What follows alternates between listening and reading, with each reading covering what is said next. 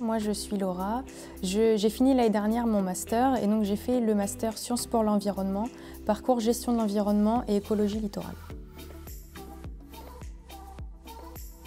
À la suite de mon, stage de Master 2, euh, j'ai été embauchée dans l'entreprise dans laquelle j'ai fait mon stage pour un CDD de quelques mois. C'était en Norvège à l'IMR, donc euh, à Bergen, et j'occupais le poste d'ingénieur d'études dans lequel je travaillais sur euh, de la modélisation et sur les activités de pêche en Norvège. Prochainement, je vais faire un doctorat en Espagne à côté de Bilbao qui portera aussi sur la pêche et sur comment comprendre l'écosystème marin.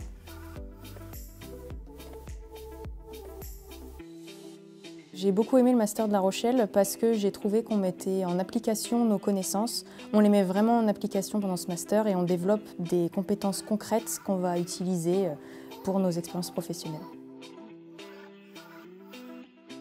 Premièrement, euh, professionnalisant, puisque, euh, comme je vous ai dit, on apprend vraiment des compétences très concrètes qu'on peut mettre en application. Ensuite, polyvalent, puisque au sein du master, en fait, on peut choisir différentes mineurs. Et euh, le master nous permet aussi de faire aussi bien un travail de gestion que de recherche. Et enfin, je dirais la bienveillance. L'équipe pédagogique a toujours été bienveillante avec tous les étudiants et il y a vraiment eu un accompagnement, surtout par exemple pendant la recherche de stage.